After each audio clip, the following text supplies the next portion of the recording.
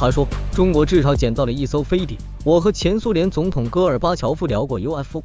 在我之前视频中，著名的爆料人史蒂文·格里尔博士在九月末接受有关某频道采访时声称，某人类秘密派系试图将小行星武器化摧毁地球，外星人阻止了他。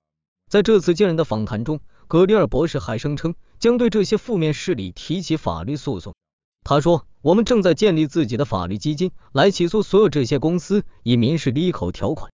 这些人可以视为黑手党。我们团队中有一名美国律师，当我们进行取证时，会把他交给他。”他说的这名律师就是丹尼尔·希恩。丹尼尔·希恩是美国著名的宪法和公益律师，在他四十年的律师职业生涯中，曾参与了许多重大历史案件的法律诉讼历程，包括五角大楼文件案和水门案等。长期以来，希恩对不明飞行物现象一直感兴趣。他是史蒂芬·格里尔揭秘计划的总法律顾问。十二月一日，丹尼尔·希恩接受有关 M 主詹姆斯·杨多利的采访，他表达了对美国深层政府保守 UFO 秘密的担忧，以及敌对国家如果披露的影响。他提到了中国和俄罗斯对不明飞行物的回收。让我们看看到底怎么说的。A question I have too is, you know, that these gatekeepers, you know. whoever they are. I mean, I guess people have ideas, and maybe people in Congress and Senate have names and and all that. But aren't aren't they concerned at all that uh, that a adversarial country is going to to release the information first? You know, given given the prism through which they perceive everything, you know, I mean, uh, they they probably are worried about it. You know, they they realize that China China has recovered uh, uh, one or more of these uh, of the UFO saucers. Uh, the uh, that Russia has. You know, I, I spoke directly with uh, Gorbachev about this, uh, and uh, Gorbachev provided information to us about this. You know, we were at a Jesuit headquarters, and Jim Garrison, who is James Garrison, Dr. Garrison is our Washington D.C. office director you know, has had direct conversations with Gorbachev. You know, uh, we were intimately involved in assisting in Gorbachev stepping down uh, back in 1991. You know, from the Cold War. Uh, because it was it was so dangerous and there was such a chance of mistakes being made that he agreed to step back. And he talked about retrieved UFOs. Uh, no, he uh, he talked he talked to me about various sightings of UFOs and that when I began to talk to the people to whom he put me in contact, uh, we realized that they had recovered uh, some of these craft.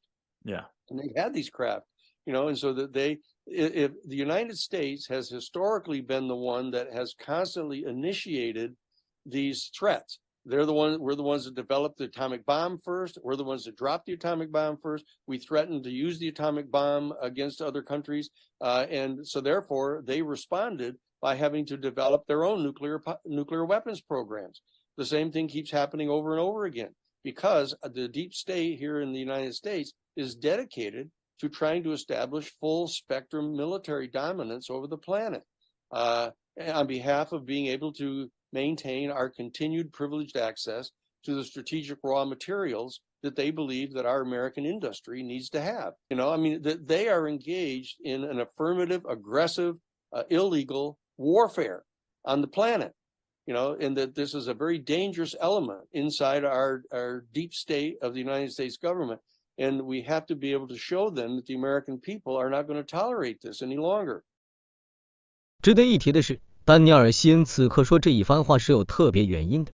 二零二二年美国国防授权法包括了一个新条款允许举报人报告以前未披露的 ufo 材料检索材料分析和逆向工程项目而不必担心因违反安全誓言和保密协议而被起诉。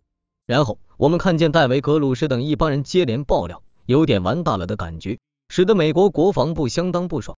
二零二三年七月，参议院领袖查克·舒默和参议员麦克·朗兹提请二零二三年 UAP 披露法案，主张对可能存在的来源不明或非人类的材料和生物制剂进行受控披露。而最近五位有影响力的共和党政客跳了出来，他们是参议员威克。参议院少数党领袖米奇·麦康奈尔、众议员麦克特纳、麦克罗杰斯和新当选的众议院议长麦克约翰逊，他们表示要反对 UAP 披露法，被网友称为反披露邪恶五人组。值此黑暗时刻丹尼尔心振臂一呼恳求获得整个 ufo 社区的支持向美国议员表达不满。他说这是人类历史上最重要的事件之一它现在就发生在你们面前。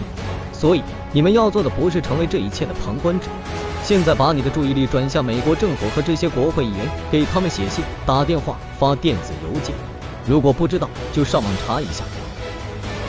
好吧，让我们祝福他。我是阿良，咱们下期节目见。